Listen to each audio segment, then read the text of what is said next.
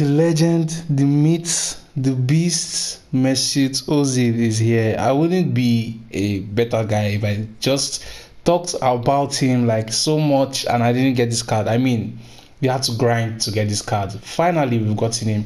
Ozil 93 rated. He's benching Odegaard. He's benching Fabio Vieira. He's benching Diaby. He's benching um the, this other guy we got yesterday, Brahim Diaz as well. 89 rated. Very very good guy. 93 rated Ozil. Five star skill moves. Four star weak foot. Not bad. Not actually bad. Um, player work rate is high and low. That's crazy. Um, the details now, he can play right mid, very, very good there actually. He has played there a couple of times for Madrid and Arsenal. His preferred position is CM. Attribute details now. This is just basic chemistry style. You know, everything is plus one. So yeah, you can see his pace 85 overall, um, 86 acceleration, 84 sprint speed. He's not the quickest. We all know Ozzy was not the quickest, but like at least it's better. Like it's still good. You know, shooting is good Attacking position is 91. Shot power is 81. Ooh, they did him dirty there. Long shots so is 80. He's not going to be good for shots. This is where Fabio Vieira beats him. Maybe Odegaard. Odegaard slightly. Volley is 92.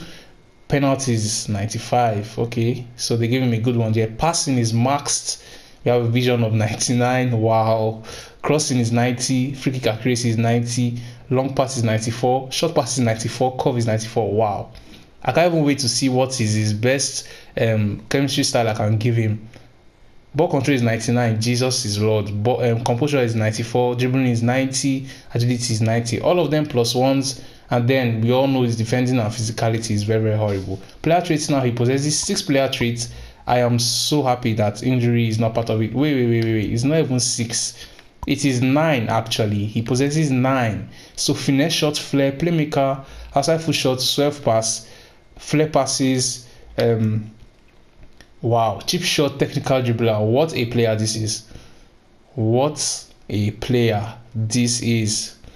I even now we have to see him in the division rivals or FUT champions. This is a player review from him on my channel. So yes let's do this. But first of all we have to give him the chemistry style. So yeah the recommended the recommended hunter. But let's see what we can actually give him here. Chemistry style hunter is giving him for artists is his best actually. So i think we should go for artists because it marks his passing as well so we should go for artists. Artists is going to give him more like we are going to expect more from him in this artist chemistry style. So yeah obviously it gives his crossing um, long pass is plus three and curve is plus one. Agility as well as plus three. Okay so yeah it's not really bad it's not really bad. Now no germans in the team um not even not even people in his league in the team. So it's going to be very very hard for us to pay him. So like come on he's ozil obviously he's going to fit in anytime. So yes let's do this